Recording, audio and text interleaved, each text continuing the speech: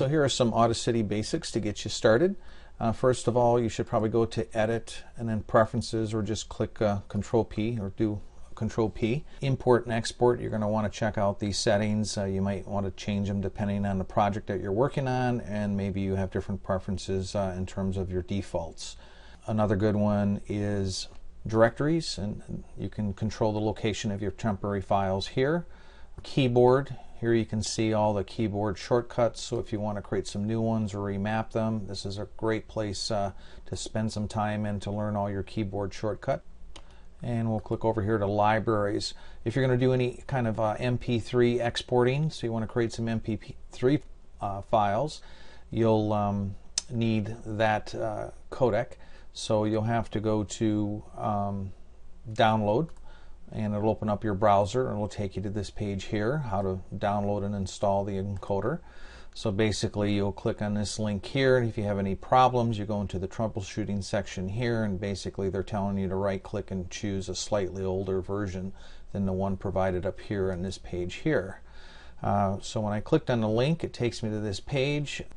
You don't want to click on the banner over here or download this here. That's not what you want. You want to scroll down over here and this is the one uh, so you just right click on this and choose save link as and then I'm actually going to save it to my downloads folder. Okay and then uh, we'll go to our Explorer window over here and uh, let's see here downloads. So here's the file right here. We'll go ahead and run it. It wants me to close all applications so mine's already installed. I'll go ahead and, and skip ahead. Okay, so we've skipped ahead, went ahead and opened up uh, Audacity, Audacity, excuse me. Again, we'll click, uh, you can see it's installed right here, and we'll click OK. So we've got some navigation shortcuts um, from anywhere here within the, uh, the track. I can hit uh, Home, it'll bring my selector bar to Home. Uh, if I hit the end, it'll take me all the way here to the end. Um, if I'm in the middle of a track or at a particular point in the track, um, I can simply hit Shift Home and it'll highlight or select anything from that point all the way back home. Shift End, as you can see, went from that point all the way to the end. So if I was sitting right here and hadn't hit Shift Home first, Shift End takes me right there and it selects everything to the end. Um, from there, once you've selected something, you can apply effects, you can delete sections. For instance, just by hitting the delete key, it's gone. So we'll just do a control Z to undo that. You can also preview from any place where you're at just by hitting the space bar and then you can pause by hitting it again or you can simply pause by hitting P and you can see it triggers the pause up here. So you've got your standard navigation buttons right up here. You go to the starting, play, record, pause, stop, and then skip to the end. Some of these are dimmed if you're already in the play mode, so you can see here I can go right to the, the beginning and right to the end there. I can also move around just by uh, moving my right or left arrow key. You can see it's moving my selection point around. If I held the, the, shift key down and used the right or left arrow, it actually starts to select, make a selection there. Just clicking anywhere else just unselects. Uh, the shortcut for uh, recording, you could hit the record button or just uh, simply click or press R, I meant to say. I can make a selection and if I just want to keep that selection and eliminate everything before and after it, you can do Control T for trim and uh, go ahead down here and remove audio and select trim. So we'll just do a control T and there we go. So we'll just undo that, control Z. Something you'll be doing a lot of is zooming in and out of the track to find uh, exact points that you want to do your editing in. You can go up here to the toolbar and, and zoom in that way, or you can zoom out. Another way of doing it is control 1 for zoom in, control 3 to zoom out, um, control F basically fits it to the window. So an example of that would be let's just kind of zoom in and, And you can see the more I zoom in, I can start to see um, places where the audio goes uh, way down or, or, possibly even to nothing. Um, and then you've got your scroll bar down here and you can move around in the project here. I can also scroll left or right by holding the shift key down and then using the mouse wheel. So you can see it it's shifting if you look at the time up here. As I scroll probably not zoomed in quite enough so let's go ahead and zoom in some more.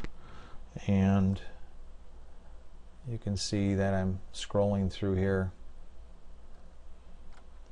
another thing you can do let's go ahead and fit to window um, is the control in the mouse button and that allows you to zoom in if I had several tracks um, and didn't use the controller shift button and just used the mouse wheel, it would actually scroll through the tracks here. There would be a scroll bar as you can see right here. You can create a selection and actually duplicate that selection by hitting Control D and you can see it creates another track down here with only that selection on it. Um, and then I'm free to make enhancements or edit it, whatever I'd like to do. A cool feature here is if I go up here to the uh, time shift tool or hit F5, I can actually grab this and shift it around here on the timeline track. So I can bring it all the way back to the beginning if I wanted. So let's say I wanted to zoom out. So let's do Control F and we'll just grab this and bring it all the way back to the beginning. Now, if I drag it too far, you can see a little arrow appears right up here indicating that I went beyond the actual starting position. I can also mute a particular track, so if I'm trying to preview one track and I don't want to hear the other one, um, I can go ahead and mute that, and now when I go to play, um, let's see here, I have to get back to this mode here, the selection tool, we have to go back home, and then I can go ahead and hit play. And it's not playing this one here. It's actually you're hearing this one down here. So let's go ahead and stop that. Another key we could do is uh, let's do our control F to make sure we fit to window. And we can do a control I and that's our split. So now if we wanted to change over to our time shift tool we could grab this and as you can see it's been split right there. So control Z twice. You can also make a selection and do your control plus alt plus X. And that deletes that selection. And then of course I could go up here to my time shift and grab this and then just slide it right over there switch back to my selection tool and I've done a nice cutout and then join these two together Here's a few audio uh, tips. We're going to use our envelope tool. And we'll click on that. And if I'm anywhere here on the track and I just click with the left mouse button and drag downwards, you can see I'm reducing the volume of the entire track left and right channels. So we'll control Z to undo that.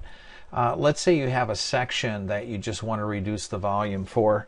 So let's go ahead and zoom into that. So we'll do our selection tool, go to this point here, uh, control 1 to zoom in. There we go. And then we're going to do our volume envelope. And you're going to click right over here at the starting point. And then just to the right of that a little bit, you're going to click again. You can see it's inserting these uh, marks here. And then right after the, the section that we wanted to reduce the volume, we're going to click to the outside there. And then go to the left, just to the inside, and click again. It'll put another set of marks. Now I can grab those and then just drag that down. You can see it's it's reducing the volume. It's going to fade it down. There we go. And grab this one over here that I had already put into place. And you can see it's kind of a jagged line right here. So when that line becomes straight, you know it's it's an even uh, even point there. If I can, there it is. It's always best to zoom in. Uh, and I'll show you why with this envelope tool. If I click here and then attempt to click right next to it, you can see I'm not over far enough. So I got to get over enough to be able to, to uh, insert those points.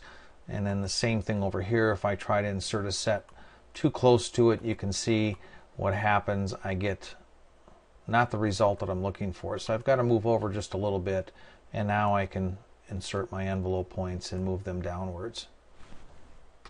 Let's control Z.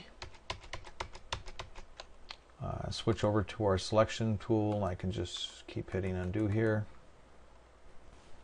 I can also make a selection here and then go up to the menu, effects menu, and choose fade in. And you can see that we're going to get a little fade in there and then effect and fade out. And so that's a nice fade in and fade out effect like we had just done with the envelope tool. So that's it for our basic tips. I snuck in some advanced ones uh, as a little bonus. So enjoy.